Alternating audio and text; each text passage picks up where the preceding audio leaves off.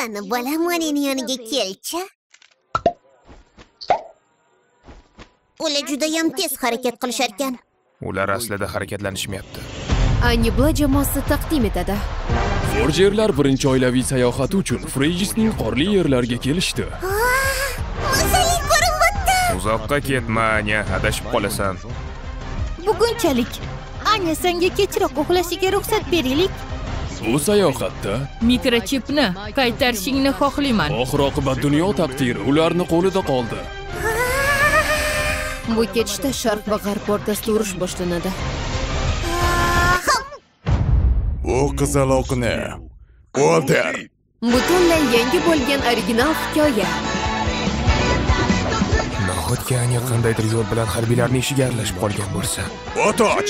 Baribir tez orada urush boshlanadi. taslim bo'lishga endi kech dunyoning taqdiri mikrochip kimni qo'liga tushishiga bog'liq anya katta muammoda buni oila sifatida qilishimiz kerak Qo'lingda bori shumi? Ularni o'ldir. anya bu safar ularni qutqaradi mani kut anya Josus oilasi. Kod oy. Nima bo'lishidan qat'iy nazar ularni ortga qaytaraman